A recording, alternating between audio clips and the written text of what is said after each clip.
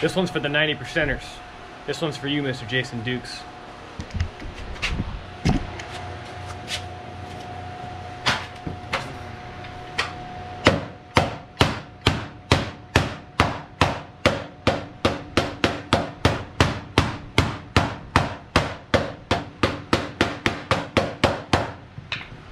Ah.